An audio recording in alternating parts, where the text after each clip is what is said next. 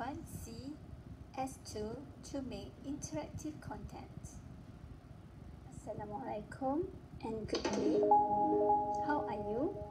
Today, I will share something about Buncee, which is produced by Microsoft Education Center. First of all, if you as educator, you can use this Buncee beta present your slide. Let me see how it works.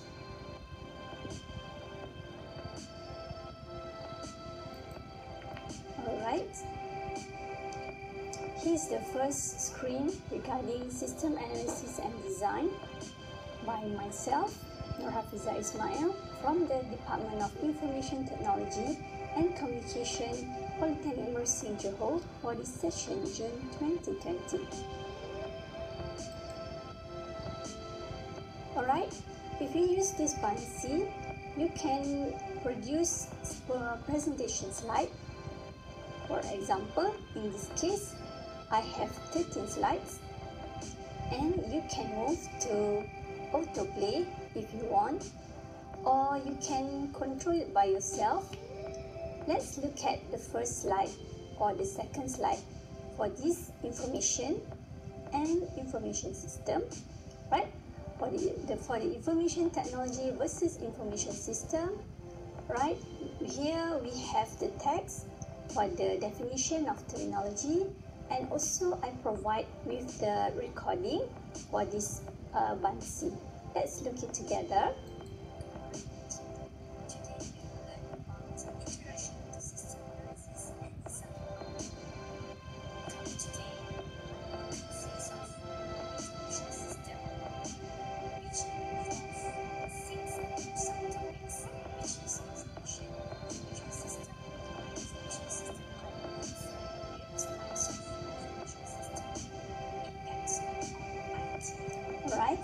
Next you can move to the next slide for uh, having the components of information system which refer to systems that's a set of relevant components that yields particular findings. A mission critical system is one that is important to an organization, operations and processes. In this case, uh, you can record yourself and include at the bottom part of the Buncee interface. Alright, this is my recording.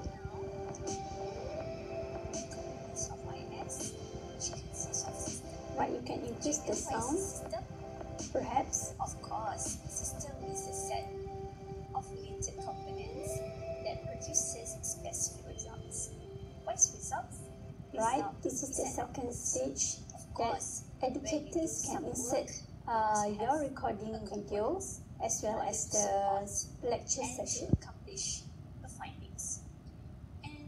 If you want to stop, just uh, pause it for a while and go to the next part about uh, the components of information system. And here, okay, we go to the next slide that I I just share some details of information system components. Here, uh, I just uh, take from the um, animation of Buncee and also this kind of robot from the Buncee also for the sticker. And look at this uh, click to load panorama. Okay, we can try to load this. Alright, the panorama given for the kind of 3D images, maybe about the computer or the 360 images. You can enlarge it as well as, as you can or as you like, or you can decrease the images. Right? In this uh, details of information system components, they have five components refer to hardware, software, data, people and processes. Alright, in this case, um, hardware, what is hardware? Hardware, as we know, is a tangible thing in the physical layer of information system. So, can you please name it? Name it? Alright, For example, you have printer, you have computer, you have plotter, you have scanner, all the things that you can see, you can touch is a tangible thing as hardware. Number two is about software. It's a program that monitor hardware and produce desired results. Next, number three is a raw material of information system transforms into useful information. That is about data. Number four, the people, users, and users who interact or end user who interact with the information system. And number five, you can include process, right? The fifth components of information system refer to process. So what is process? So it's process define tasks and business functions that users, managers, and IT members need to perform or to accomplish specific findings. For uh, the educators' information in this slide uh, from Buncee, I also uh, include a lecture or a slide video. This is the example of slide video that I just explained about the details of IS components that I briefed just now. So maybe the students can, after the session of this, this recording, they can record again or they can watch again.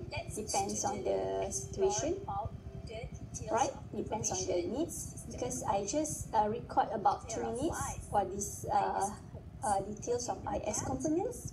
Okay, if you want to pause, you just click pause lah. Right? Next, we can go to the fifth slide.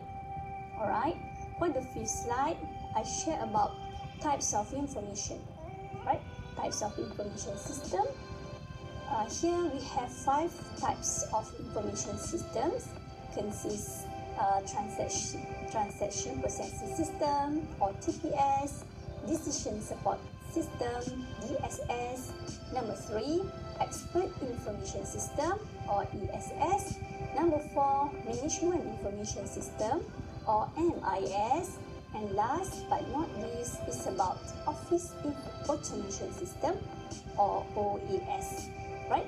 In this slide, I also just uh, attach a simple video that uh, explains about the, the, types of IS and maybe the students can uh, have the voice while watching for the lecture.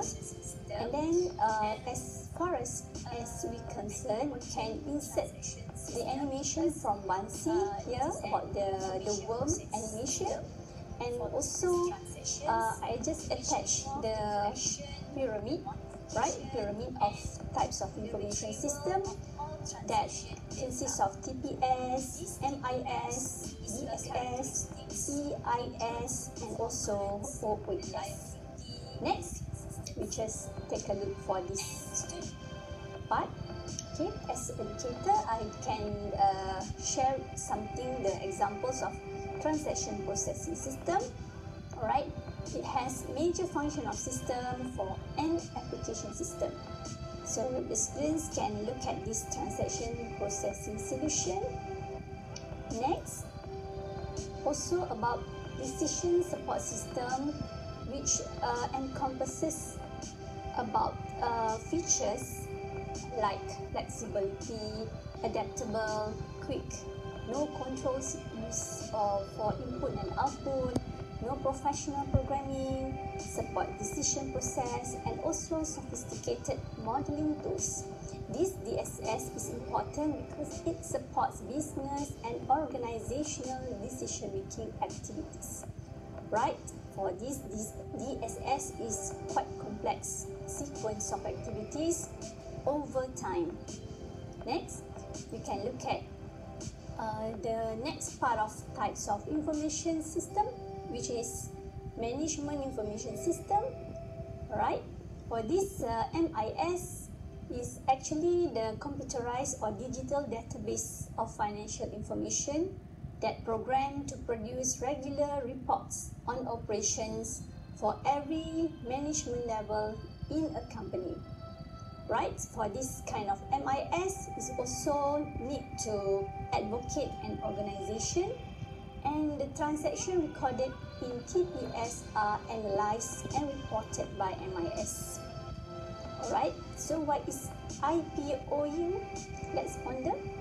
Maybe about input, process, output, and user.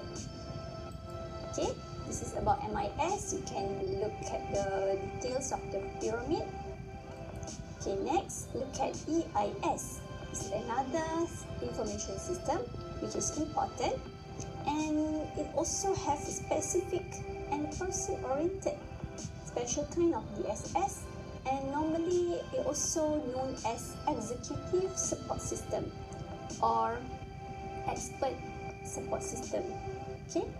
So for EIS is about executive information system and they can do for the CEO for the decision okay this is about OAS right? This is the last types of information system which is very impressive method to process personal and organizational data. And this is to support paperless office.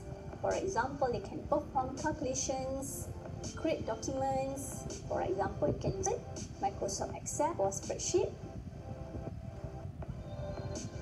See you then in the next lecture do and make sure to upload via CIDOS LMS. Thank you from me, Dr. Fiz, JTMK. Good luck and all the best.